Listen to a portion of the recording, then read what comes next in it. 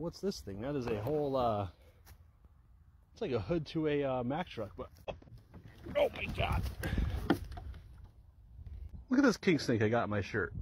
He's biting at my stomach. He is just going on and on. Relax, buddy. Real, real. it's so funny. What are you biting at?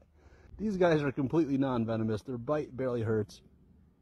But it's more of the shock of like, I'm getting bit by a snake that's kind of scary. So it makes you jump a little bit, but the bite definitely doesn't get you. It's just the shock of getting bit by a snake. Look at him. He is ready to go. All right, buddy. I'm to put you back, you crazy king snake. All right, guys. Thanks for... Look at him. He's really rearing up. I'm to get down on my knees here and let this guy go. He's so funny. All right, buddy. All right. Hold on. Go on. Out the shirt. Go on. Go on. Off my hat.